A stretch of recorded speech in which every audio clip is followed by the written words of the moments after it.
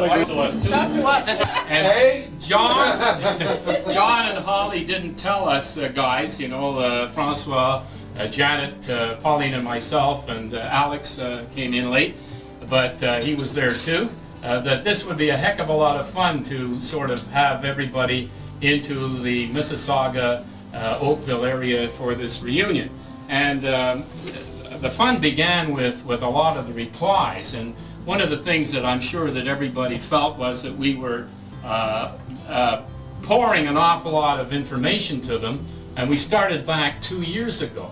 And we wanted to compete with the junk mail, of course, and uh, we, uh, but we got some interesting replies, and, and uh, I'll just give you a, a little uh, tidbit of, of, of uh, what we got. Like, uh, for example, um, uh, Ken wrote us, uh, this was back in summer of 92, and uh, he said, "In 1994, wow, my calendar for 94 is completely clear. In fact, it hasn't been printed yet. By that time, maybe the, con- uh, the constitutional problems will be resolved. The Serbs and Croats will love each other. The Irish Protestants and Catholics will wonder what they've been fighting about. The Sikhs and other Hindus, fundamentalists, Muslims, and other people will tolerate each other. And the Blue Jays will win the World Series. Ha! Ha! Ha! And that's what he wrote. Well, you know, eh? That's Ken Reed. that was last year. Eh, right? Didn't I say that? Anyway, uh, uh, he, uh, you know, he was he hit uh, one out of ten. so that's not too bad. I said we're not uh, uh, going to Toronto, we're coming from Toronto, and if that makes a difference to the directions of your route. Uh, please let us know. One thing I was going to write back and say, you know, just change the arrow. Instead of to Toronto, from Toronto. Um, Connell Smith, wherever he may be, uh, seemed to take some, uh, um, uh, had a little fun with our English font that we put on our invitation, you know, and he sent back a letter uh, that even I couldn't read. uh, Ken Reed noted that of the 30 odd classmates listed, only eight remained in Quebec. Well, that's been corrected tonight, right? Seven. Now. Seven now. He says one of whom was deceased and therefore not as active as most of them. I'm not so sure. Ed, Ed Knight, for example, indicated that he and uh, Mark, they were back. Can you hear me here? Yeah. Uh, that they're back to skiing. This was, you know, one of our epistles. Um, they were awaiting the maple syrup season uh, to begin in Piedmont. He asked, Will Alan Held follow up with a translation of his question as to whether G is really constant, or did I lose the idea in the rambling prose? so, Alan, over to you. Um, and you know that, uh, as John said, a lot of folk couldn't make it. Uh, George Christopher called to say, and he was really going to come, and Andy Surra was going to have him over to his house, but uh, he has emphysema. He carries around a, uh, oxygen with them, and, and it just just wouldn't work. Bob Skomorowski, uh, uh, we we we kept writing him, and, and Alan Held uh, was in charge of uh, let's get Bob Skomorowski uh, to uh, to attend. Uh, but uh, this is what he finally wrote us in uh, June the 24th, and we got it a little later. And uh, this was to L. Ross Campbell. Dear Ian,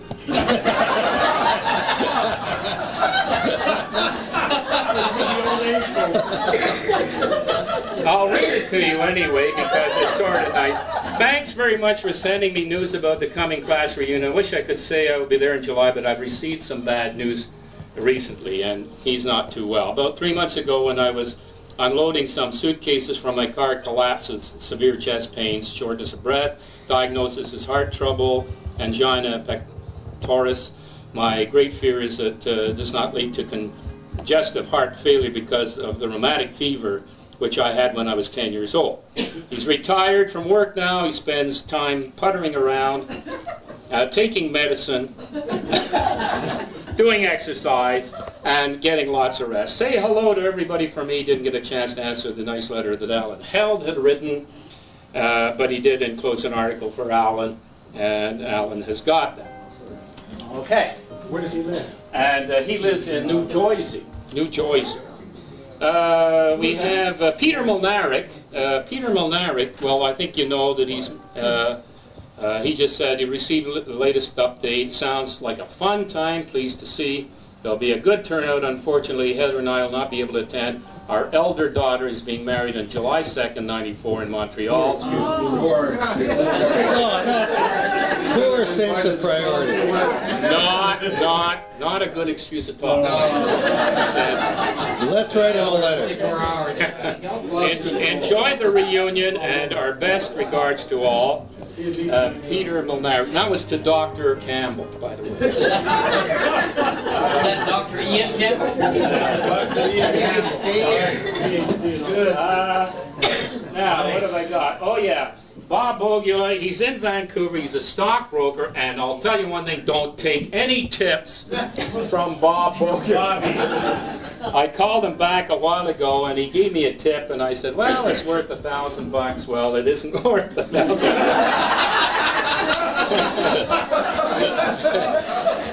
Let me also tell you, his his daughter's working for him now, and uh, his excuse for not coming was that uh, his daughter was taking a vacation. so he could, he could make grandchildren. Yeah, that's Bob Bogula. Uh, Lee Hutton. Lee Hutton was uh, going to call. He called and he said he had just he was going to call and say he was coming. However, he got some uh, word from his buddies in the Air Force. He was a radar technician, as you probably all know, and they're having a big event, and I think it's next week. And he felt that two trips to Montreal or to Toronto from Montreal would be a little bit uh, beyond his uh, interest. So he does send his regards.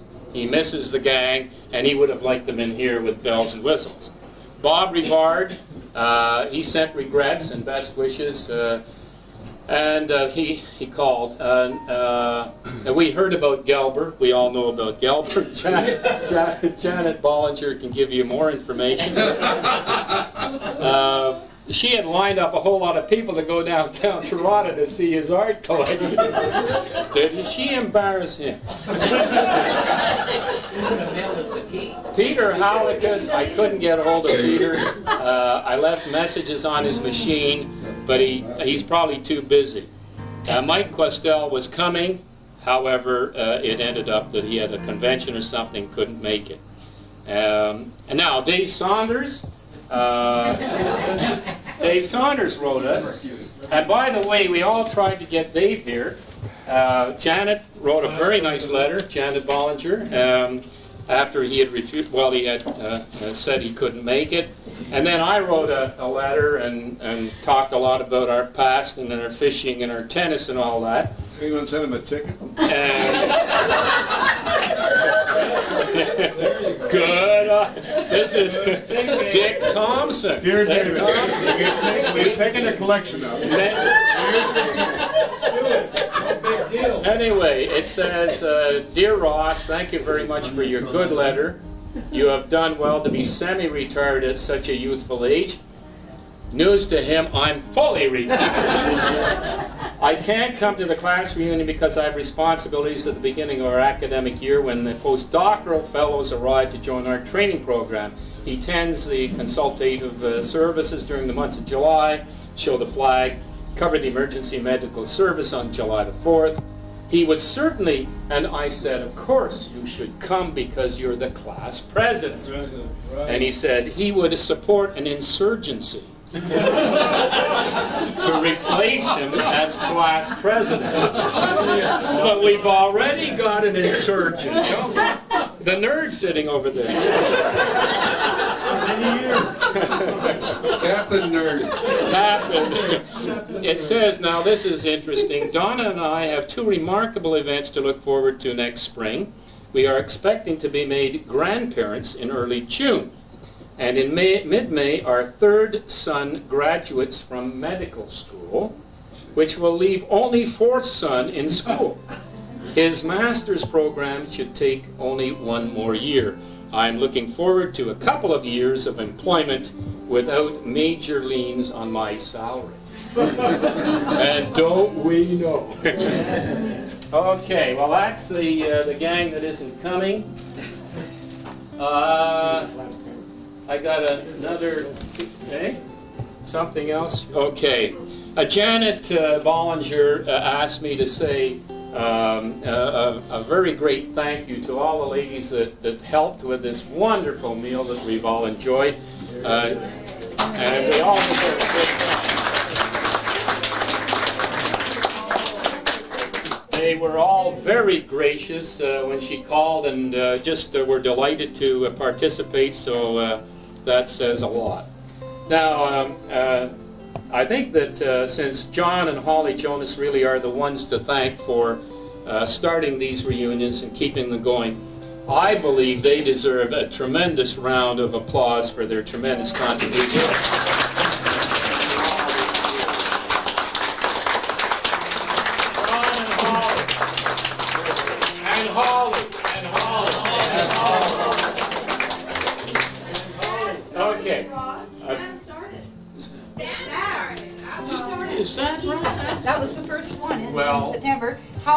Rounding up what you can away at the reunion? He gave us two weeks. By golly. Well, Yes, it's that's only a good 52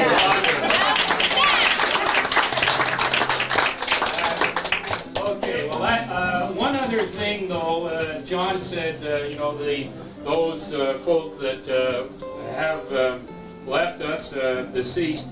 Um, there was a uh, a letter that uh, came uh, to uh, Harold uh, Bergen, um, and he was uh, quite taken with this. Uh, and this was a year and a half ago, and uh, it, uh, it it said um, attention to Harold.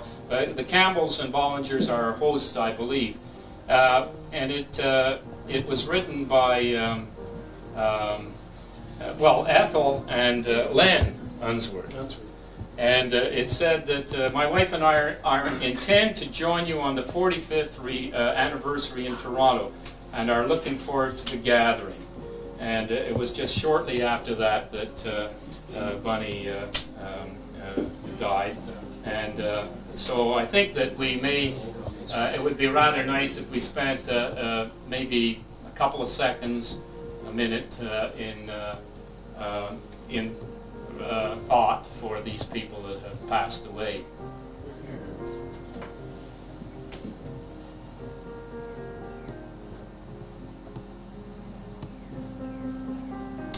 Thank you. Okay, we'll turn it back to John and. Uh,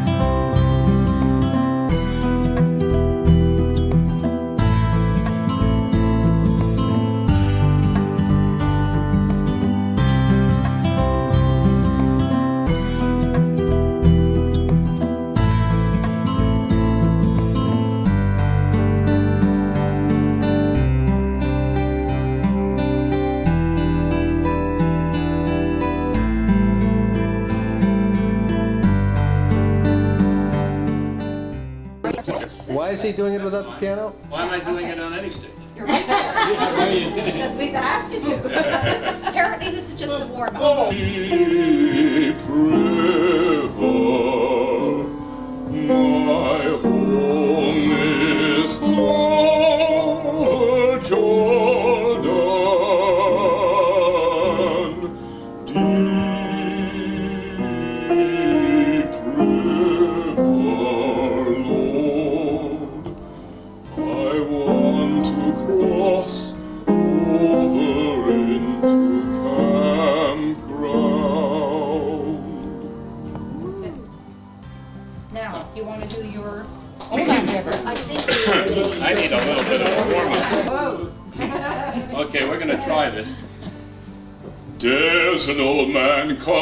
Mississippi. That's the old man that I long to be. What does he care if the world's got trouble? What does he care if the land ain't free? Old Man River, that old man River, he must know something, but don't say nothing. He just keeps rolling, he keeps on rolling along. He don't plant taters, he don't plant cotton, and them that plants them is soon forgotten. But old man River, he just keeps rolling along.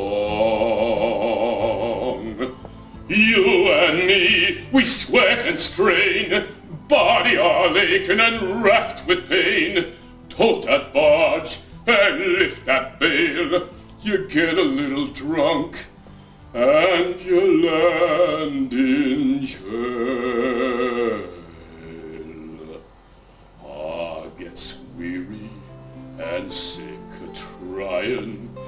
I'm tired of living and scared